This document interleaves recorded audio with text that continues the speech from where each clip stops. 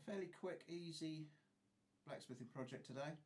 Um, inspired by my wife, uh, she has this knack of looking in magazines or on Pinterest or Etsy, finding these things that she likes and dropping subtle hints like, Oh, do you like those? They're very reasonable, aren't they? Think I might get a pair of them. You know, knowing damn well that I'm not going to let her buy ironwork. So this is one of those um, situations. They are, I don't know what you call them. They're sort of they're candle holders basically, um, wall mounted sort of sconce things. Very simple with a heart shape on the top. Um, so let's get on. I'll show you what what it's all about. Okay, so start off with two pieces of inch quarter, 25 by 6. Um, I wanted to use inch and a quarter quarter, but I hadn't got any. Um, they're 18 inches long, and as with most of my projects, it's a bit of a guess because of having never made these before. So I've guessed at around 18 inches to start with. Now marking the centre on one end of each. I'm doing a pair, but I'll probably just show you one. Alright, so let's just mark down the centre. You can see there. Now, I'm again going to guess at round about four and a half inches that I'm going to split down. So it's all a bit hit and miss. And I suppose a bit of experience. I've done not this, but similar things in the past. So that's how I can't find my blasted punch. Hang on a minute. Let me go and see if I can find it. Just turn the video off. I'll come back. Right, found it.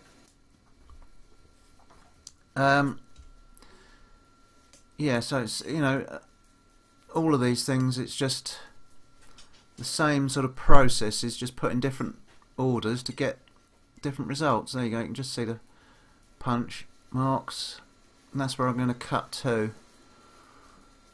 Now, I'm going to cut them. You could do it with a uh, grinder or hacksaw, but I'm going to cut it with that hot set just because you know I can. It's a blacksmithing video, might as well do it that way. And I'm going to use this bit of scrap on the anvil so that I don't uh, cut through onto the anvil and blunt my hot set or damage the anvil. Get rid of those. So let's find an appropriate hammer. I'll use that one. That's a kilo hammer, which is what about two pound, something like that, 2.2 and we hold down. Alright, let's see what we can do. My wire brush has got some oil on it.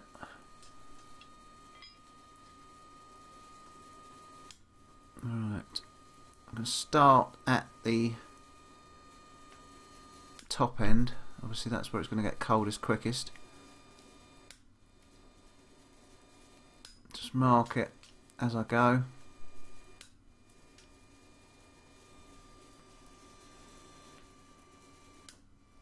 If it looks about right, I'll carry on.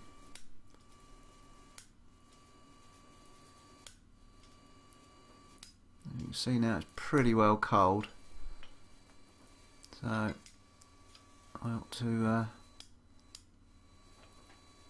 get it warm again, really. But you can see that's cutting in quite nicely. Just level it out. It's bowing it up a little bit. Stick it back in and get it warm again.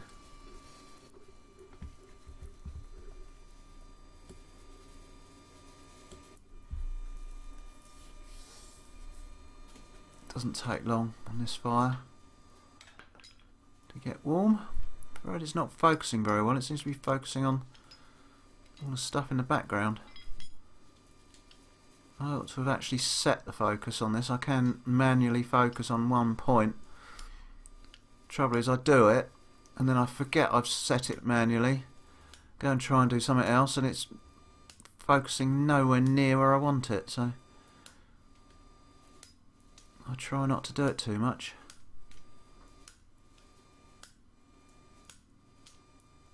I've got two of these hot sets. One that's set this way around, and now you can just see if I hold it up, there's a slight mark there right down the middle where that's just about to come through. So I'm going to turn it over and cut from the back. Don't know if it's a good idea or not, but I'm going to do it anyway. Um, as I was saying, yeah, I've got one that's got the uh, blade set this way, and then the other one that's got the blade set sort of black backwards and forwards. So it's quite easy to use, you know, doing different jobs. So if I wanted to go straight away from me and towards me, I'd use the other one. You can see how easily that's cut through. Any trouble is I should have marked it on both sides, the length, because I think I got to go a bit further up. Yeah, so there's about another half inch I need to go, which actually you can just about see. Let's see if it's hot enough still just to go that extra half inch. Yep, that'll do. I think that's cut through it now. Yep. It's not pretty, but it's effective. You know, an angle grinder with a slitting disc on, or even a hacksaw, is probably neater. But showing you can do it with the hot set. Alright, now I'm going to split it open. Or no, now I've split it open, I'm going to open it up so I can get to each of the the arms to try and tidy them up because that uh, hot set does leave a little bit of a burr on the inside nothing too major but it just needs a little bit more tidying up than it would have done if it was a slitting saw.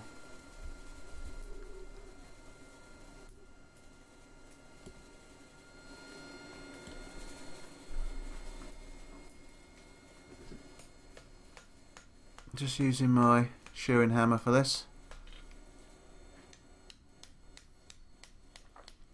I like my shearing hammer for most of these jobs. It's uh, just about the right weight for me. And having the slightly rounded one end it's um, quite useful. Just try to open right up into that gap so that I can tidy up right back in there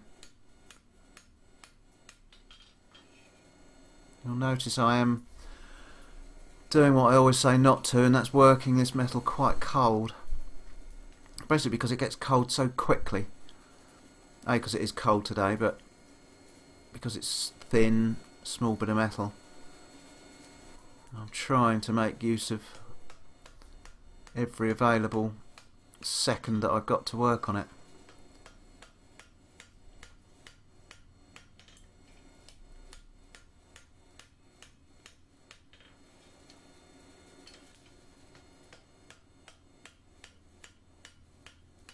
I don't quite know how long these are going to come out. Um, what do we start off? Four and a half, so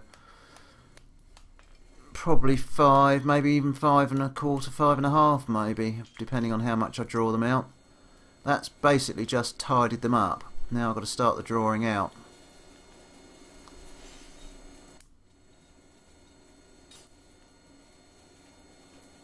I say, it doesn't take long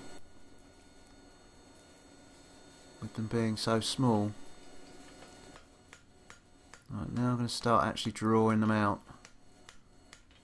And again, you've got to be careful because this stuff, you can see there, it's twisting. So I'm trying to twist it back to keep it square. And if you let it twist, what you'll find will happen is it'll split. Split wide open. And you're knackered then. Nothing you can do. Um, if you were really determined to save it, you could probably try and fire weld it all back together, but to be honest with it, it ain't worth it. Just chuck it and start again. So the idea is to not let it get twisted in the first place. And then you won't have the problem.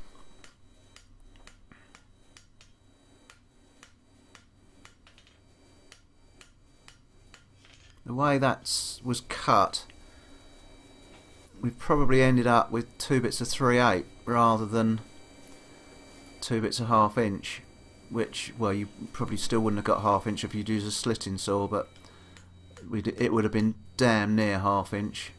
So those slitting saws are only about 0.8 of a mil wide even if you use the 1 mil one so you're only losing an absolute gnats. But with the uh, hot set you actually do lose quite a bit it's getting a bit warm just cool it out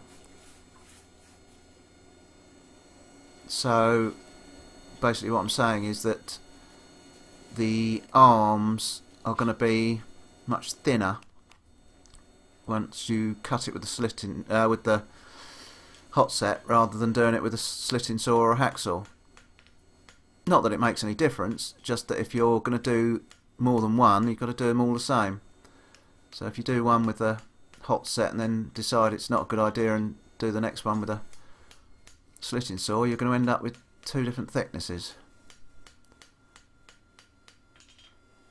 Getting there. Alright, I'm just going to measure it and see exactly what we have got.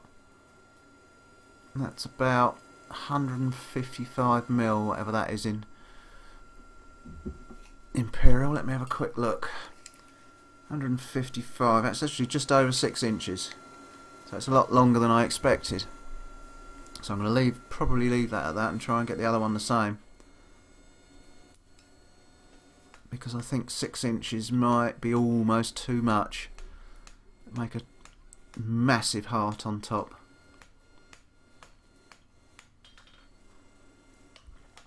I don't want it to look out of proportion with it being knocked down to sort of about 3 eighths now. If it's too long it might look a little bit odd but we'll see. Time will tell. So it's all a bit hit and miss, so...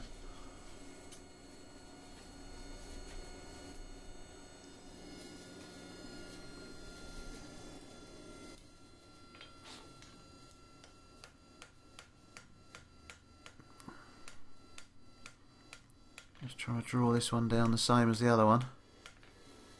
It's a very long, slender sort of taper.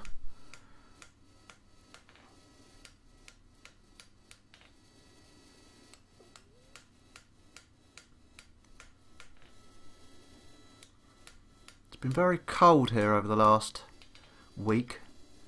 Well, you can see we're getting there. It's been sub-zero for almost the whole week with four or five inches of snow. Now I'm just going to mark the six inches or the 155 mil on the anvil so I can test the other one up against it. Yeah, and it's as I say that we've just got rid of the snow. It literally almost overnight the temperature rose to just above freezing and the snow disappeared within a matter of hours. It was absolutely incredible. Right, so that's the first one. That's the... And actually that one's about right. So I'm going to have to call it a bit of a day there. Even though this one I don't think is quite as tapered. But I don't want to start doing anything else with the other one. So we're going to leave it at that. So we've got two six inch spikes. I'm just gonna knock it over the edge of the anvil there, just to over the beak, just to really round off the inside of that cut. That's all I was doing there. So now we've got to bring them back together a little bit and try and turn them into a heart, which could be quite tricky.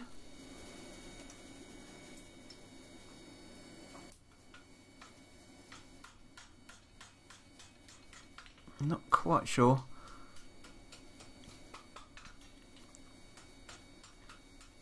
What this is going to look like. I'm sort of tentatively doing the first half and sort of try and get an idea of what it's going to look like. I don't know if I want a bit of a bow in there. No, I don't think I do. It doesn't look right. No, don't really like the look of that.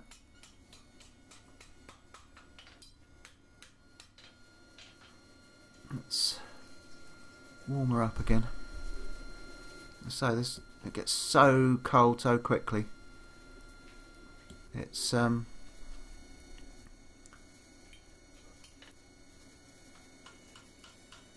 pull it on a little bit more.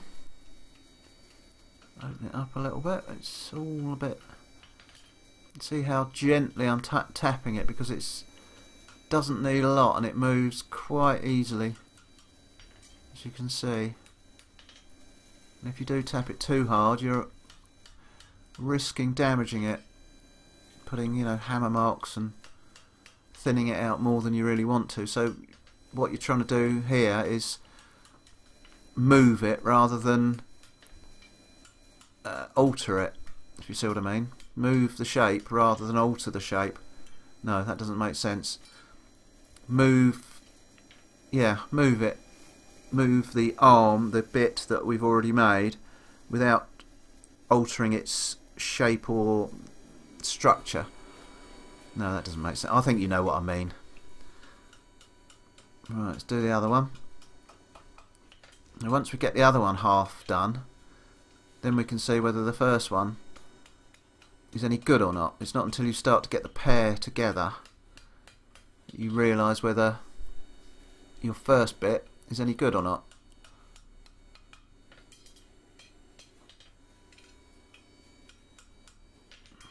There's a lot of fiddling and faffing.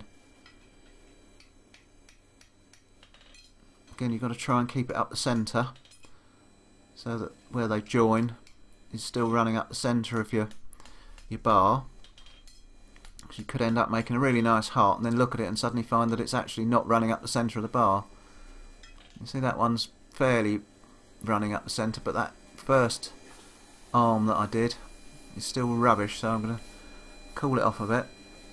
It's getting a bit warm. Stick it back in and try again. Um, so it's not until you've got the pair of them together you really realise what you've got to do. So we've warmed the, sort of almost the whole thing up. So you want to get that bow out there. I've got a little bit of a bow, so I want to straighten that out and then push that back on.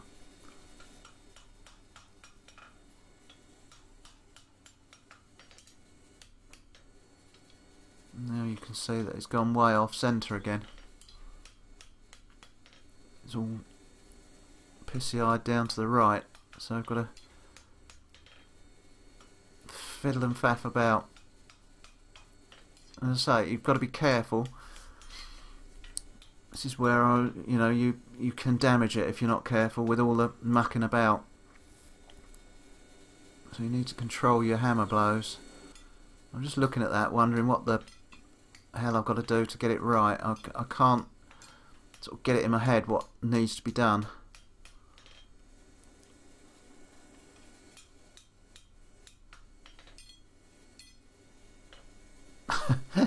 you can see, almost see my brain working, trying to figure it out. I'm,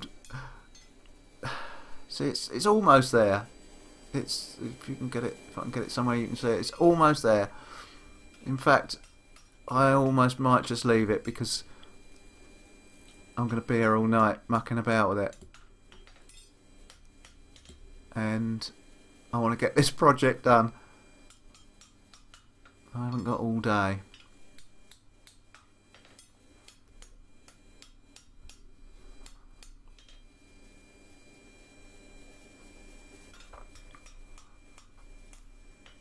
It's lots of gentle, subtle tips and taps, and I think that's going to be about it, if you can see that. I'm going to call it a day at that. I think that's pretty good. I'm just going to warm it up, flatten it out, make sure it's all as it should be. And that's it. Call it a day. Clean it off.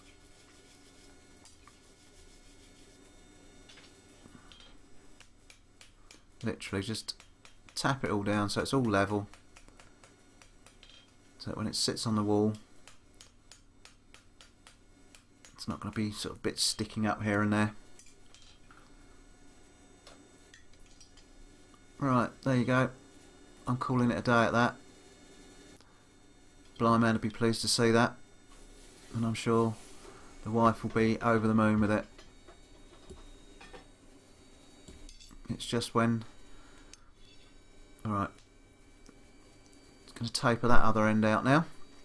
It's just when uh, you throw an eye over it, you know, a couple of weeks down the line and you think, Christ, that's rubbish. But there you go. Right, bigger hammer this time. Got me bigger club hammer. Just give it some beans. Gonna draw this down into a a much more sharp taper. We don't want it as long and thin as the original one or the first ones. So I'm just going to give this some beans. Actually you can see quite nicely how that metal shifts from that shot.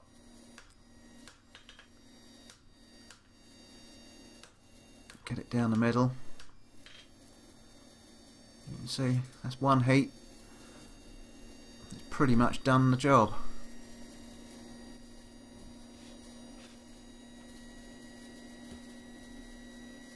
Get uh, warm again. Change the hammers back to my good old faithful. Try and tidy it up. You can see even that hammer, although it's not all that heavy, you can move quite a bit of metal about with it.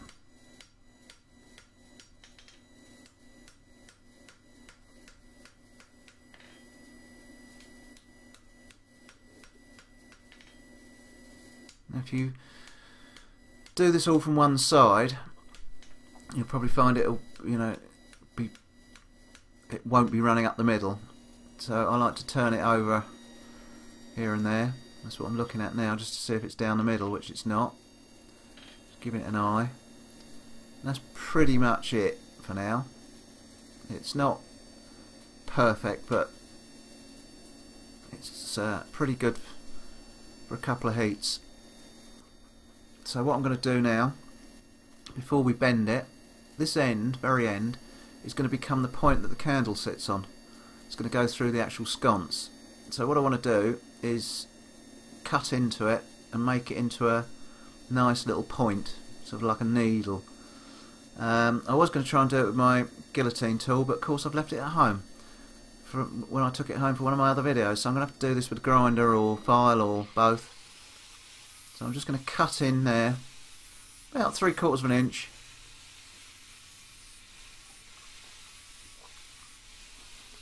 On all four corners, oh, of course, fat edge shoulders in the way.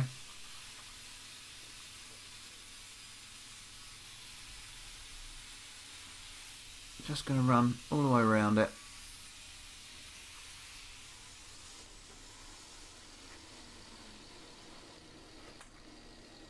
And what I'm going to do is finish it off with a file.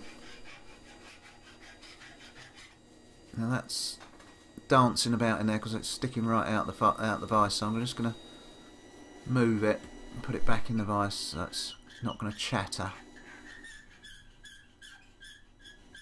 Now this is a very fine file. I ought to have found a bit of a coarser one to start with, but I can't be bothered. So I'm just going to spend a little bit of time with this real fine one. Just turning this into a nice little spike that you can impale a candle on. I'm imagining that this will hold something like an inch and a half, maybe two inch church type candle. You know, sort of four or five inches tall, maybe. Don't know, but that's what I've got in my mind.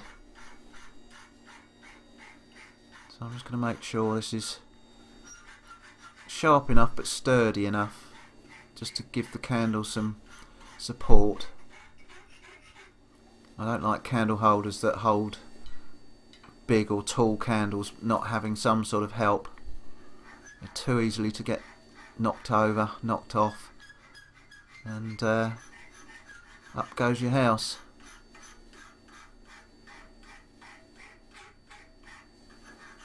We're getting there. I think we're just about there. You can see there that's turned into quite a nice little sharp point now.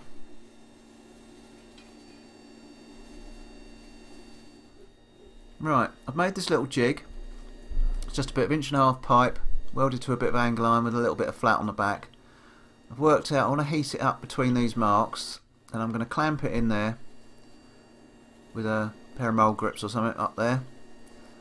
Pull it round and Bob's your uncle. I'm going to probably use something like that, the F-tool. With any luck, it should be right.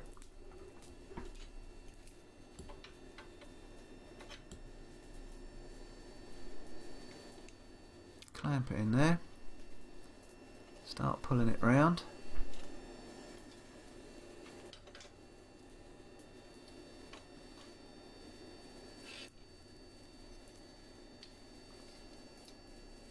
Keep it nice and tight to the jig.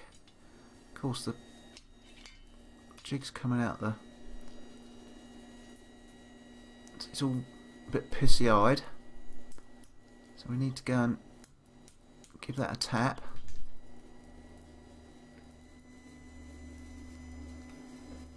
See, it's not down the centre.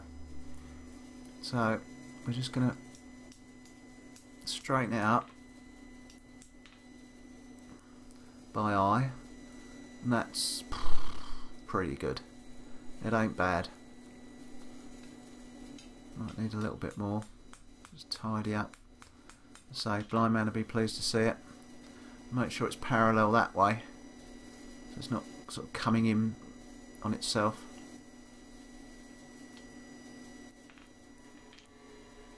That's about it I think for that bit. We will have to drill it.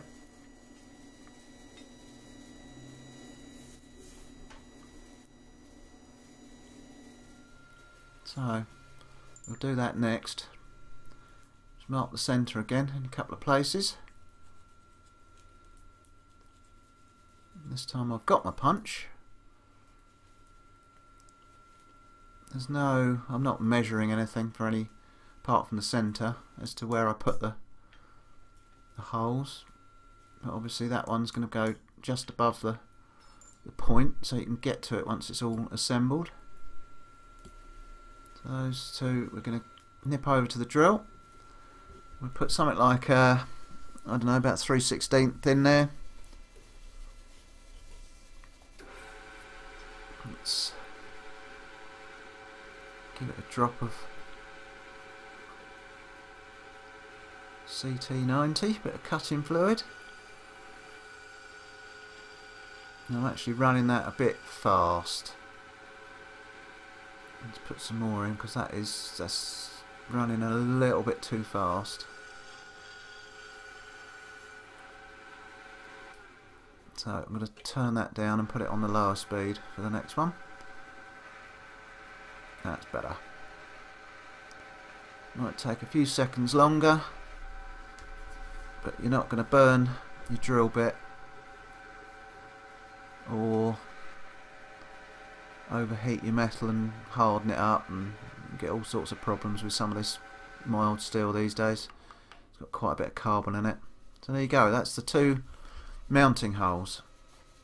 So while I'm here, I'm going to make the sconce. So I'm going to put my hole cutter in. This is just a standard, I think this one's a Bahco, but you can use all sorts of different makes. I've got various different ones, Starrett's and all sorts.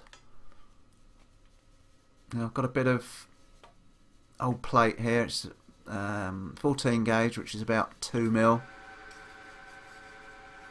Now I've just noticed I've got a bit of a mark on there where some I've used that for cutting on. So I'm just going to go to this other end that I cut out of before.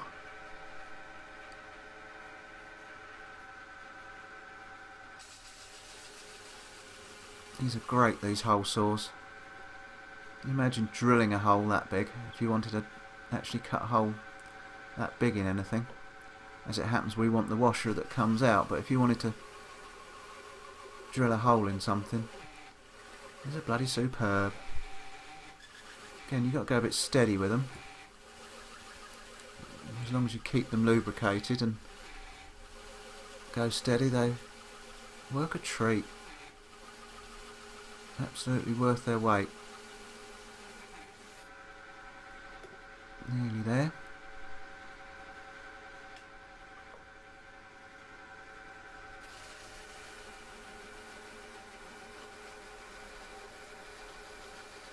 That's it. Done. And there it is, drops out.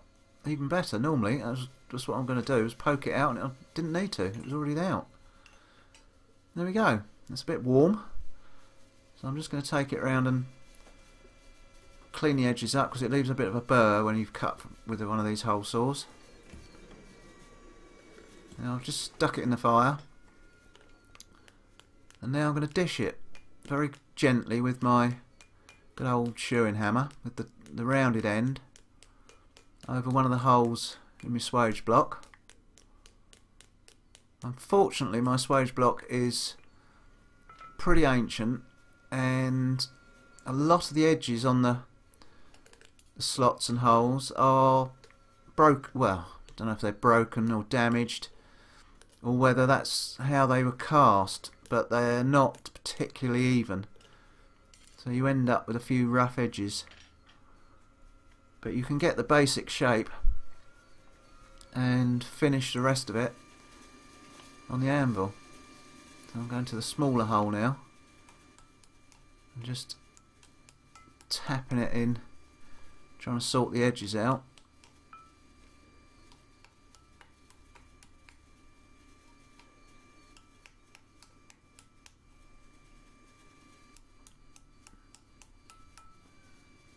Very useful these swage blocks. I really ought to make myself a swage block stand so that I can turn it up on edge and use the, the edges much more easily. At the moment I've just got it, you can see there, nicely dished. At the moment I've just got it resting on a bit of an old sleeper. Right, so we've got the two components. We've got this bit and we've got the nicely dished sconce. That's how they're going to go. So now I'm going to braze them together. It's down here. See if we can get it finished. Alright, I've sort of cobbled it up in the vise, just put it there and it's just sitting there, it's just resting. Just get my um, brazing rod hot, dip it in a bit of flux. Get the two bits nice and cherry red. Again, I've got to be careful of that spike because it's very fragile, really.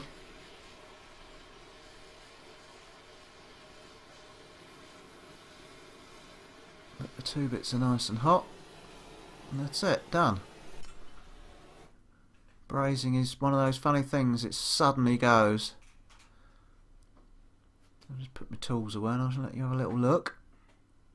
You can see there it goes. It just ran suddenly all the way around it. Bash. Away it goes. So, I'm going to clean that up and we'll have a little look. That's the general idea.